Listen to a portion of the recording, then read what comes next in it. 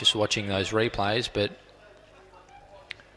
in this sort of race, she does look very hard to beat, particularly from the red.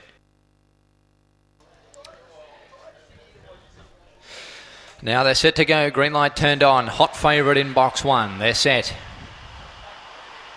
Racing now, Deborah Lee jumped only fair off the inside, but she's mustering good speed and she blew the whistle to go to the lead into the first corner from Triella Bale across from the outside. They were followed by Meridian Bell getting to third. Next was Loving in Vain, Cruise and Wham.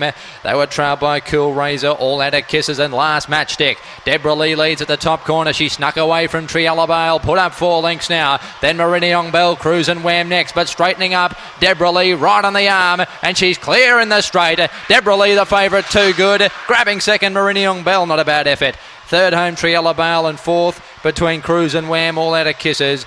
Then Loving in Vain. Matchstick, probably a bit disappointing. And Cool Razor toward the end, and she's run around the 30 mark. Class prevails. Deborah Lee. Anthony Azzopardi.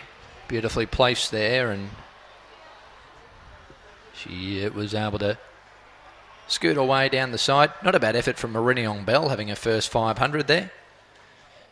She was hitting the line nicely.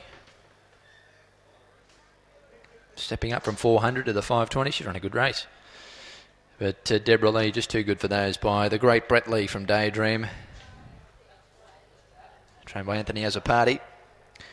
Marinion Bell, Triella Bale, and Cruise and Wham round out the top four. One, two, eight, and six five and a quarter by a half. It was pretty painless in the end. She didn't ping the lids. She just jumped.